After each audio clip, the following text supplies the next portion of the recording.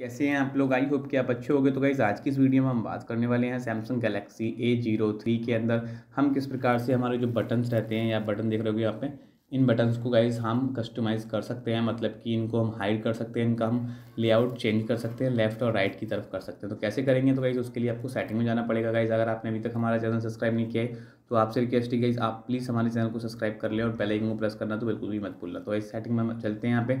Setting में चलने के बाद गाइज़ यहाँ पे आप देखेंगे तो यहाँ पे आपको काफ़ी सारे ऑप्शन देखने को मिलते हैं। तो गाइज़ हम सिंपल तरीके से डिस्प्ले वाले ऑप्शन में जाने वाले हैं तो डिस्प्ले पर आपको क्लिक कर लेना है। डिस्प्ले पे क्लिक करने के बाद गाइज़ आपको थोड़ा स्वाइप डाउन करना है। स्वाइप डाउन करने के बाद गाइज़ यहाँ पे आपको एक ऑप्शन देखने को मिलेगा। नेविगेशन बार का तो इस पर आपको क्लिक कर लेना है। जैसे गाइज़ आप इस पर क्लिक करते हैं तो आपके पास ऑप्शन आते हैं नेविगेशन बार के। तो गाइज़ यहाँ से आप इनको लेफ़्ट और राइट हैंड पे चूज़ कर सकते हैं। बस गाइज़ आप इनके साथ इतनी सेटिंग कर सकते हैं मतलब इनका लेआउट या तो आप लेफ़्ट हैंड की तरफ़ रख सकते हैं या फिर राइट हैंड की तरफ़ रख सकते हैं। ओके गाइज़ जो भी आप अपने हिसाब से रखना चाहें, आप रख सकते हैं। अगर आप लेफ़्ट और राइट राइट हैंड में प्रॉब्लम है आपके जैसे कि गाइज़ आप लेफ़्ट से फ़ोन यूज़ करते हैं तो बैक बटन इधर चाहते हैं तो आप इस पर क्लिक कर लें ओके और गाइज़ बाकी आप इधर रखना चाहते हैं बैक बटन तो इधर रख लें। तो गाइज़ बाकी आई होप कि आपको वीडियो अच्छी लगी होगी, इससे ज़्यादा इसके अंदर फीचर नहीं है तो गाइज़ हम आपको नहीं बता पाए।